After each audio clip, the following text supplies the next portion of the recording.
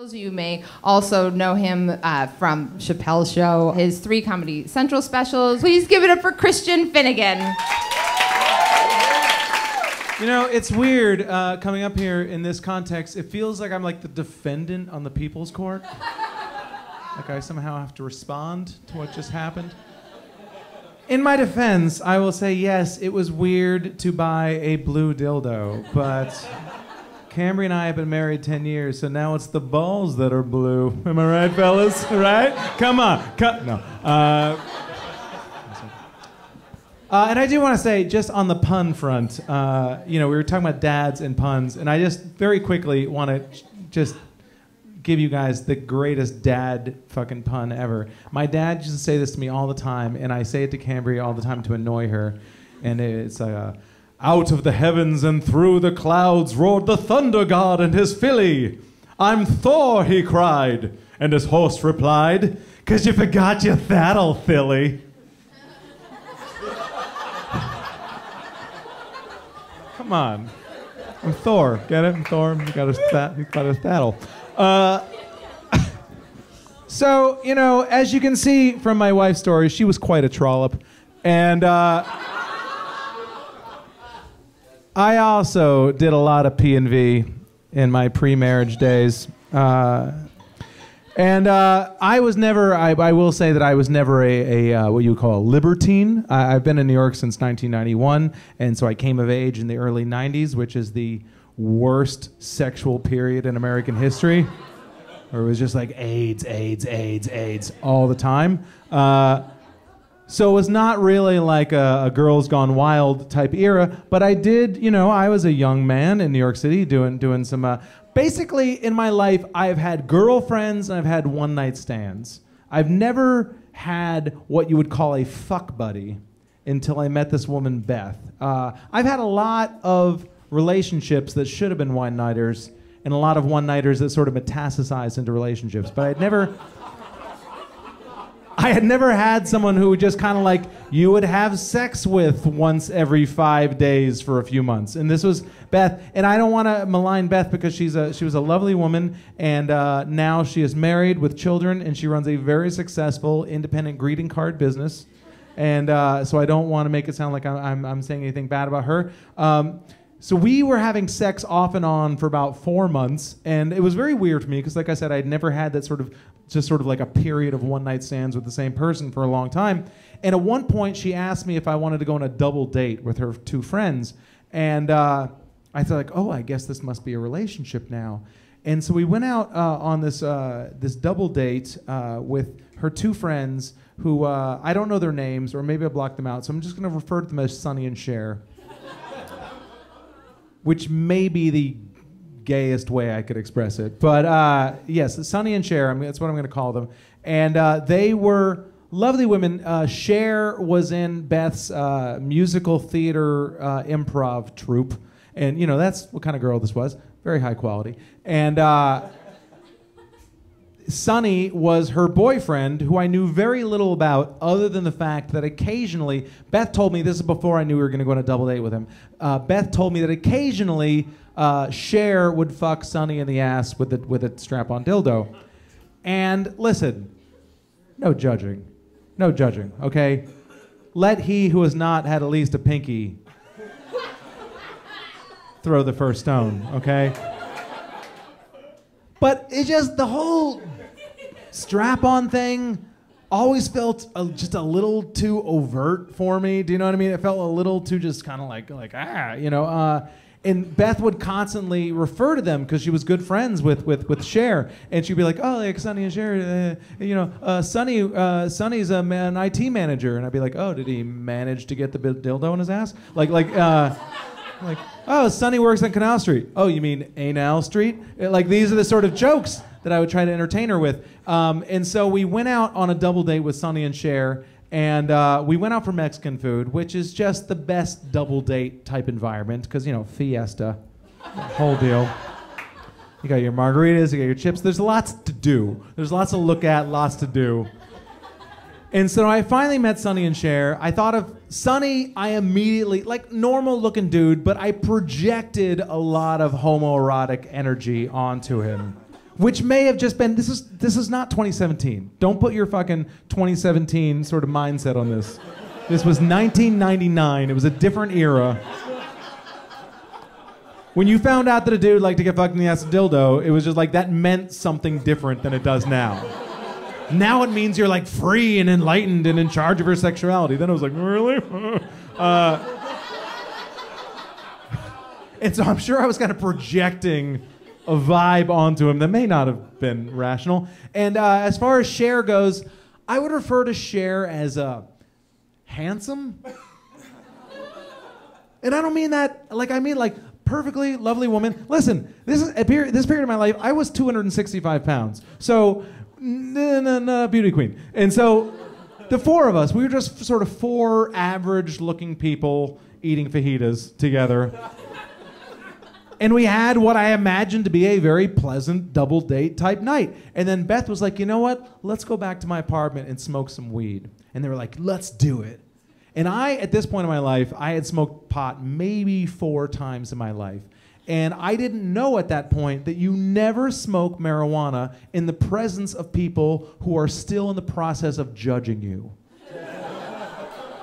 You can smoke pot with people who you will never see again or people who you are very good friends with. But never in the middle. Never people who you're like, oh my God, they're, they're still uh, formulating an opinion of me. Uh, and so we went back to Beth's apartment on, on 111th Street, and uh, it was a tiny, typical New York apartment, and we had to all squeeze into her bedroom because she's this very anal retentive, and not anal in the in the sunny way, but uh, very anal retentive roommate who didn't want us like fucking with any of the sort of common areas. So we were all folded into Beth's tiny little room and we all kind of smoked a little weed. And I, like I said, I was a, a novice weed smoker, and so I immediately meant, went into like train spotting mode. Do, do, you, do you know what I mean? Remember that scene in Trainspotting where Ewan McGregor ODs and he like sinks into the rug, and you feel like you're watching everything from like a ten foot distance. And so I was lying on the bed like Denzel Washington in The Bone Collector, uh, just completely just out of it. And Beth starts kissing me. And I'm like, what are you doing? There are people here. Like, don't, this is awkward. And then Sonny and Cher started making out. And they started playing this little game where, where Cher would go for Sonny's belt, like, and he'd be like, stop it, stop it. And she would keep going for his belt. And I was like, what is going on right now? Like, why is this happening all in the same room? This doesn't, this doesn't feel right. And then Beth got up and she put on uh, her four CD changer, and uh, 1999 people. And she put on the song "Darling Nikki," which you want to talk about fucking "Closer" by Nine Inch Nails being on the nose. I mean, give me a fucking break, right? She puts on "Darling Nikki," and she just literally starts dancing in front of the three of us and this was 1999. She was. It was in that era where she had one of those. Remember when women used to wear those sort of lobster bib tops, which were just like a piece of fabric in the front that would come to a point and they would tie in the back, and and and she was just like undulating. Like a, like a, like she was heralding the arrival of Kong. Do, do you know what I mean? Like just, just sort of like you know, like knew a girl named Nikki, and her boob just like kept flopping out of the lobster bib. And at first I was like, uh, Beth, uh, they're seeing that. And then it dawned on me because Sonny and Cher just started like making out like really intense. I like, oh fuck, this is going down. This has clearly been like a plan.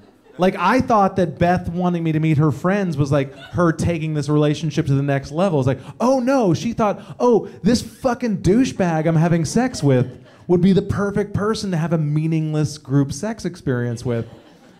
And so she's just like undulating to the song, and they're making out, and she's like grabbing at his belt, and then the song ends, and then it's like, all right, what now?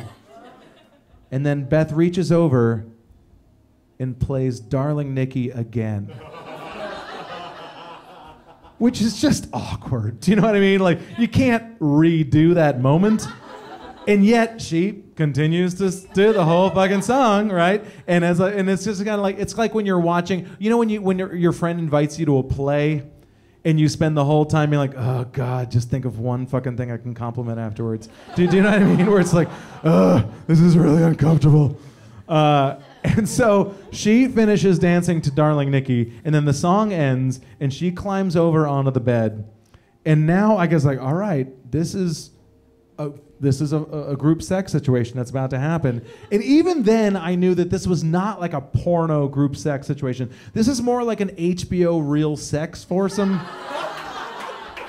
Do you know what I mean? For some reason, when everyone is unattractive, it just feels dirtier. Have you ever watched HBO's Real Sex, where it's just like guys with ponytails and like, and they're like naked, telling you about like Woodstock? You know what I mean? It's, ugh. uh, but I was like, all right, fuck it, sure, why not?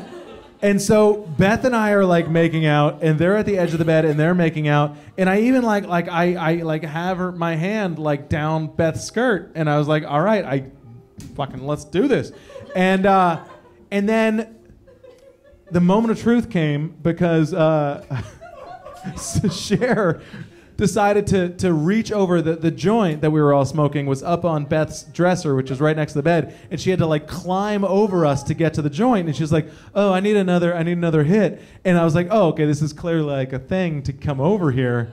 And so she like reached across us to grab the joint, and her butt was right here, and she farted in my face.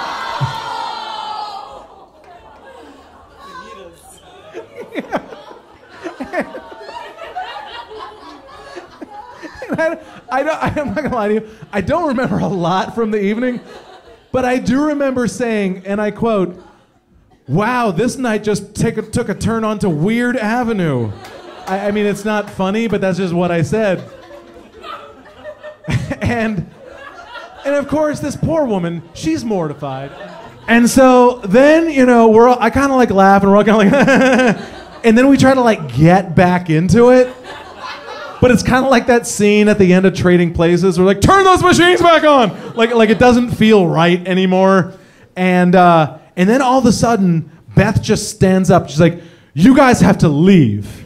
Talking to Sonny and Cher's like, you guys got to go right now. And they're like, uh, okay. And, and, they, and, they, and they, they gather their stuff and they, Sonny puts his belt back on and they, and they leave. And, and, and, and then Beth immediately takes off her clothes, puts on her widest, biggest granny panties, turns off the light, and gets into bed and like goes right to sleep. And this is the, like literally within 11 minutes from like, oh, I'm gonna be fucking two, hopefully not three people. And then I guess we're sleeping now. And so we're like spooning and we're in the dark and I'm trying to figure out what the hell is going on. And then I, this horrible smell hits my nose. I'm like, what's going on? And then Beth begins projectile vomiting. Like on the pillow, on the floor, like just we're spooning and she's just like just all over. I mean, exorcist type vomiting. And so I get up and I turn on the light and I'm high. This like this is like a high person's nightmare. oh, what the fuck?